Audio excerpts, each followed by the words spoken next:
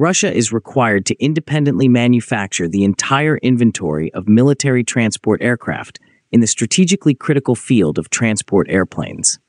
As equipment decommissions at the end of its service life, the current fleet of transport aircraft is rapidly diminishing. The United Aircraft Corporation, UAC, has been assigned an unprecedented challenge, developing and beginning the production of new aircraft in each category of transport planes light, medium, heavy, and super heavy.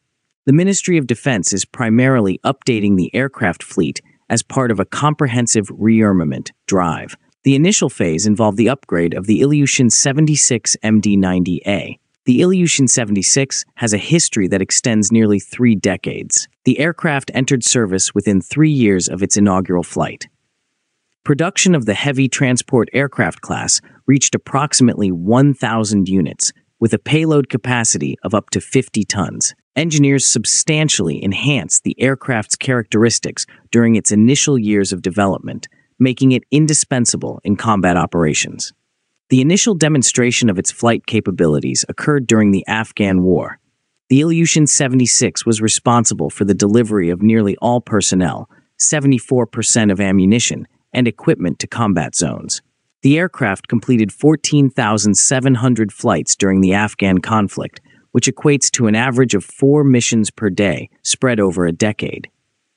Soviet personnel continued to provide weapons to Allied forces even after the withdrawal of major forces in 1989. The Taliban made an effort to disrupt the flights of Soviet aircraft. The Taliban's capture of an Ilyushin 76, which transpired six years after the official conclusion of hostilities, served as the inspiration for Andrei Kavun's film Kandahar. This incident is perhaps the most well known. Seven crew members remained captive for over a year before they could escape. Interestingly, one of the Ural transport companies still operates the legendary aircraft. The Ilyushin 76 MD 90A is the 25th iteration of the iconic transport aircraft. Mikhail Klimov, a test pilot who has flown nearly all of the basic Ilyushin 76 variants, asserts that the core control system remains untouched. Aviators familiar with the Ilyushin 76 will easily adapt to the new model.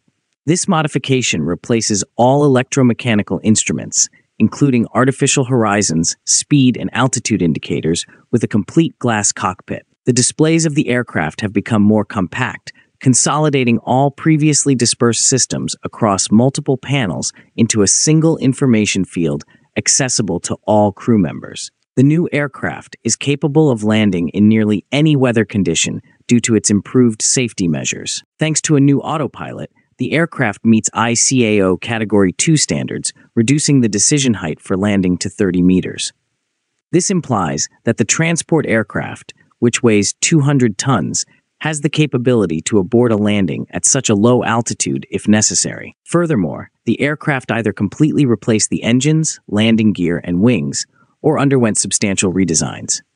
If the airframe and aerodynamics function well during operation, and the engines and avionics undergo periodic upgrades, the aircraft can have a long service life. The Aviastar SP plant in Ulyanovsk, which was specifically designed for the production of large transport planes, commenced the production of the new aircraft. The Russian Ministry of Defense has executed the most significant contract in the past two decades, procuring 39 new Ilyushin 76 MD-90A aircraft at a cost of approximately US dollar 1.4 billion.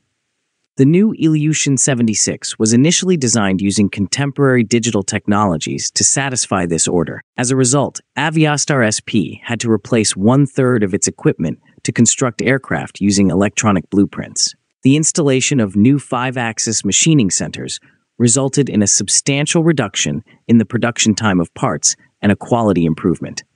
The plant's modernization will require an additional two years and a total of US dollars 100 million an unprecedented sum. Designers decided to create a seamless wing panel without unnecessary joints, making it stronger.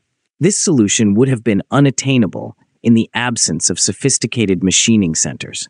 Specialized assembly machines were used to build the initial three aircraft.